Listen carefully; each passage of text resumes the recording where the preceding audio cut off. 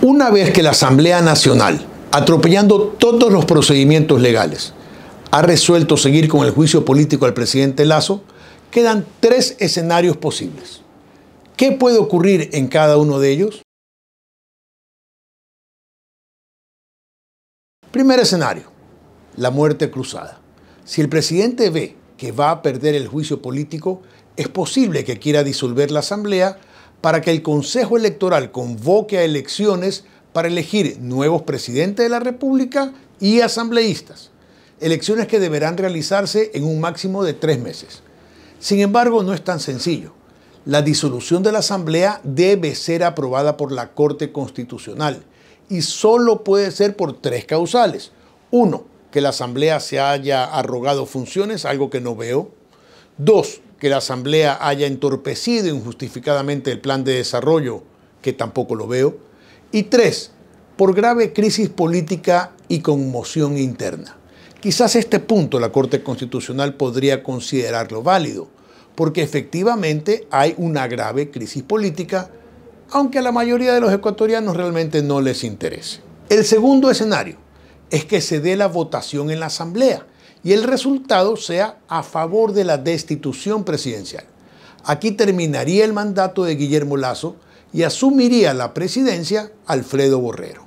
El tercer escenario es que se dé la votación y el resultado sea en contra de la destitución, con lo cual Guillermo Lazo seguirá siendo presidente de la República hasta terminar su mandato en 2025. Ahora bien, ¿qué pasaría en cada uno de estos escenarios?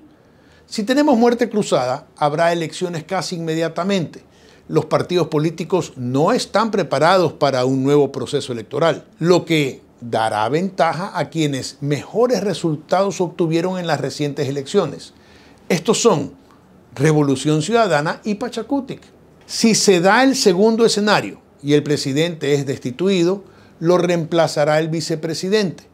Seguramente tendremos un periodo de calma en el país porque Borrero tiene menos rechazo que Lazo con los partidos y podría lograr acuerdos con ellos que le permitirán cumplir su principal misión, que será mantener la paz y la democracia hasta las próximas elecciones.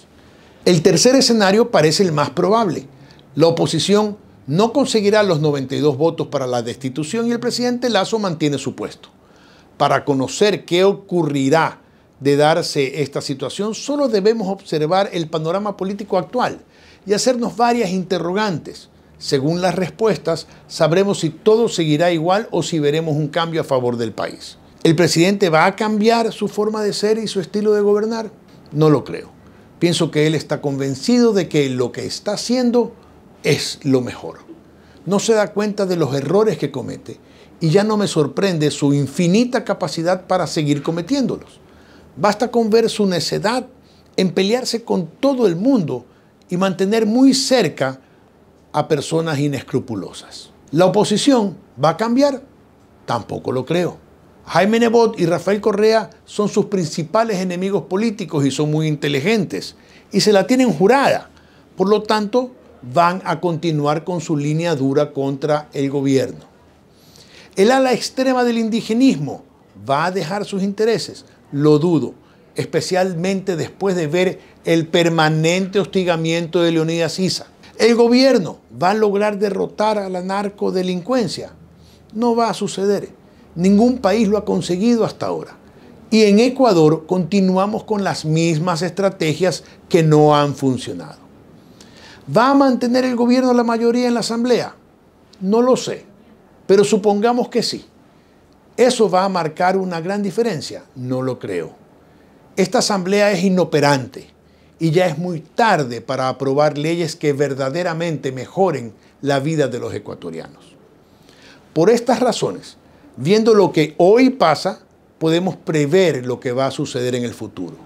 Por eso creo que este gobierno ya perdió la posibilidad de cumplir sus ofertas de campaña su capacidad de gobernar será exclusivamente para terminar de la mejor manera posible su mandato y esperar a que los ecuatorianos elijamos mejor el 2025.